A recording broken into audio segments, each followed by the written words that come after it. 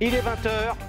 C'est une situation totalement inattendue. Cette situation constitue un risque pour notre pays. La déroute du parti présidentiel est totale. Jamais l'Assemblée nationale n'a connu une telle configuration sous la Ve République. Vous êtes encore arrogant ce soir? Monsieur- Malgré- Attendez, pardon. Je retrouve le Dupont-Moretti que j'ai vu pendant des années. Vous êtes encore arrogant? Le peuple s'est exprimé.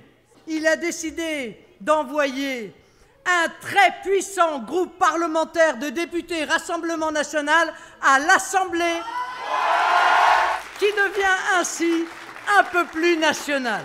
Force est de constater qu'aujourd'hui, si le Rassemblement national est à ce niveau dans le pays, c'est aussi la conséquence des cinq années de politique euh, d'Emmanuel Macron.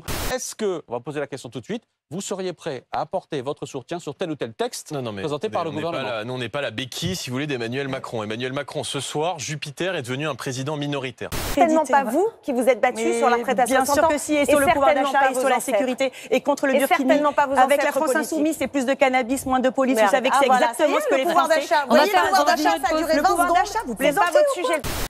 Quant à moi, je change de poste de combat, mais mon engagement est, demeurera jusqu'à mon dernier souffle, dans les premiers de vos rangs, si vous le voulez bien.